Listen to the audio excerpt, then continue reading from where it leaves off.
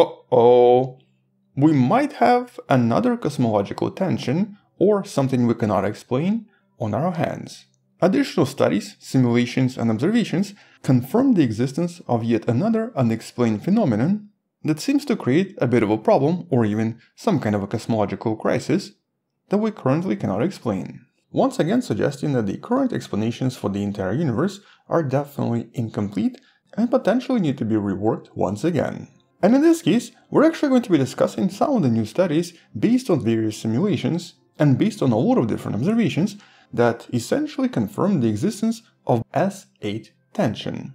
A somewhat similar concept to the so-called Hubble tension, but in this case causing different effects, and once again without any explanation. So, hello wonderful person, this is Anton. Let's discuss exactly what was recently discovered, talk a little bit more about what all of this means, and more importantly, discuss some potential resolutions. But first, just a super quick review on what we're actually discussing. The first tension, known as the Hubble tension, is something related to the expansion of the universe. Based on some initial concerns observed in the late 90s, the scientists knew that the universe is expanding, but at that point in the 90s, it was assumed that the universe was only about 8 to maybe 12 billion years old. Yet during this time, scientists discovered stars that were potentially much older, creating a major problem. And within just a few years, several scientists were able to explain this as not just the expansion of the universe, but also the acceleration of the expansion. This was the discovery of the so-called dark energy, something that seems to cause the universe to expand much much faster than it should be otherwise. And at this point the age of the universe was reworked to be about 13.8 billion years old.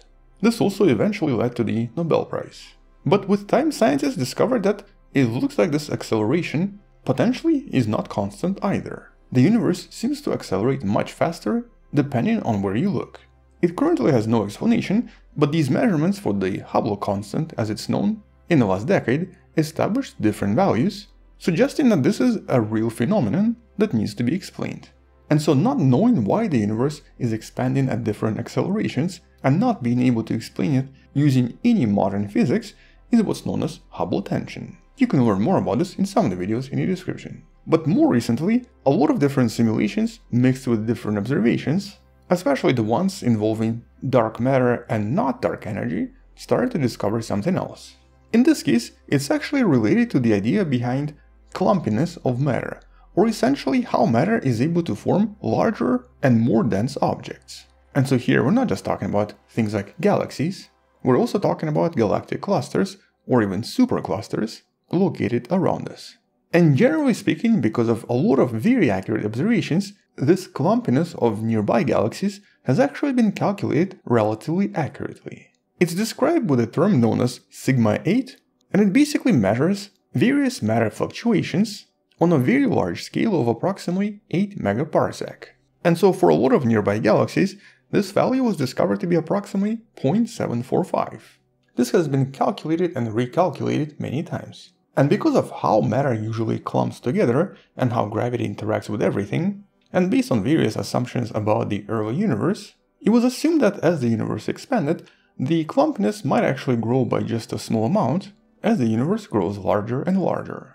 Mostly because the universe started as very uniform and relatively similar in density, and eventually things came closer and closer together, forming various clusters, superclusters, and so on. And though this should be somewhat suppressed by things like, for example, dark energy, it would not be enough to change the overall clumpiness by that much. In other words, if we look back in time, we should maybe see a little bit less clumpiness, but it should not differ by that much. In other words, the gravity very likely worked in a similar way back in the days as it does today. But when it comes to cosmology, you can also usually calculate a lot of things by just looking at the cosmic microwave background as well the oldest light in the universe. And so in this case, cosmologists can easily derive the sigma 8 value by measuring the clumpiness of the universe as it was 13.8 billion years ago. And originally they obviously expected the value to be either similar or potentially lower than 0.745. Yet that's not what was discovered. All of these CMB based calculations discovered it to be approximately 0.8159, much higher than what we actually see around us implying of course that the clumpiness in the beginning of the universe was first of all much higher but second of all presenting a major problem. There's no explanation for why. This would require a major restructuring of the standard model of physics, potentially changing some really important components in the formula in order to fit everything into the model we use today, with current observations suggesting that we might need to change the theory of gravity itself. And obviously, ideas like Mond might want to come to the rescue. In this case, Mond itself is not able to explain any of this either. Because here we're talking about fundamental changes throughout the entire universe that currently cannot be explained. And though it is quite possible that this could be explained by adding some kind of a new parameter or some additional force on top of this, at this point nobody really knows how to approach this. But obviously there are some propositions. For example, maybe the dark energy itself became much stronger over time, pushing the universe apart much more today than before, and thus maybe also providing some answers for the Hubble tension. But at the moment there's really no connection to any of this. On the other hand, maybe this is actually related to galactic winds. One of the first and one of the easiest explanation in this case actually involved the idea of galactic winds usually formed by massive black holes. And we know that when galaxies form, they normally do have very powerful emissions from the center that can actually create these winds which would then push the matter apart. And as this happened over time, it might have dispersed matter, lowering the overall clumpiness, and thus dramatically changing what we see. Or maybe this is some kind of a bias or miscalculation. So basically here, this is where the scientists wanted to really kind of find out what's happening.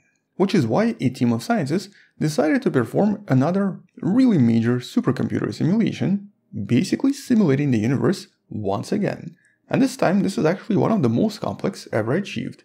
It's known as Flamingo, short for Full Hydro Large-Scale Structure Simulation with All-Sky Mapping for the interpretation of next-generation observations. Yep, quite a mouthful. But the idea was pretty simple. Instead of just using, for example, dark matter, they decided to combine dark matter, neutrinos, and hydrogen gas, putting all of it into one large supercomputer simulation, and then running it on 30,000 processors of Dirac Cosma 8 supercomputer at Durham University for many, many, many hours. In order to basically see what happens, what sort of a universe is created at the end, but most importantly, trying to find out if this is bias or maybe miscalculations, and if galactic winds, as you see right here, play any role. And well, first of all, unfortunately, even after these simulations, there was no sufficient explanations for this unusual S8 tension. Mostly because the galactic winds that were formed here definitely were not powerful enough to reduce the clumping and to explain the differences in this unusual value. Even some of the most extreme galactic winds were not sufficient enough to lower the clumpiness of the matter. Which means that, well, maybe, the dark matter itself is more exotic and potentially contains additional effects. Or maybe the regular matter itself in reality is much much stronger than what the scientists were trying to simulate right here. But compared to previous simulations like the one you see right here, known as Illustris, Flamingo by itself is already extraordinary, for one important reason. It actually includes a lot of baryonic matter, so basically gas and neutrinos, which are usually very difficult to simulate because they don't just feel gravity, but they also interact with gas pressure and of course electromagnetic fields. Although in this case that's one thing that was not simulated, and it's obviously unclear how important this is for the evolution of the universe. But by carrying out 28 different simulations, and by changing some of the parameters, the goal of this project was to try to compare this to actual observations in order to discover the true values of many of these constants and many of these properties. With the overall confirmation being that the unusual S8 tension is real after all, and the modern universe is much less clumpy than it used to be back in the days. And so now not only do we have to deal with the Hubble tension or the unusual difference in the Hubble constant, we now also have to deal with the second tension in the cosmological model, simply known as S8 tension. And though some scientists have already been calling for basically a failure of the so-called cold dark matter model and the need to reassess everything, at this point it's also important to try to measure this again and then try to figure out if maybe there's some other additional explanation, such as for example just miscalculation or bias. Which is why actually simulations like this one are super important. And actually one of the more unusual discoveries coming out of the simulation and also previous observations is the fact that the universe actually seemed to behave as expected for a very large part of the cosmic history. the clumpiness seems to be more or less the same for a very long time and only changes much later in the existence of the universe. So it's as if something dramatic changed in the last few billion years in order to make all of this happen. Which is exactly what the scientists also observed with the Hubble tension.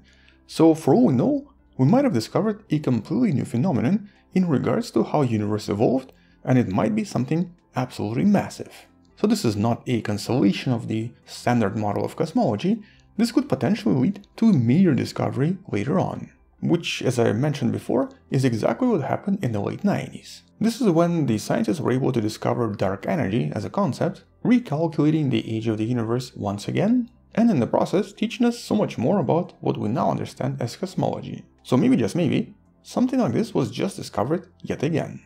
But exactly what or how to explain this, at the moment there's no actual explanation for now. But if you'd like to find out more and actually learn about the details and of course the actual calculations, check out one of the lectures you can find in the description, available from the PIRSA or Perimeter Institute recorded seminar archive. Here it goes through absolutely everything we know about S8 tension, and is basically a 40 minute lecture explaining this mystery in detail. But at least for now, that's kind of all we know.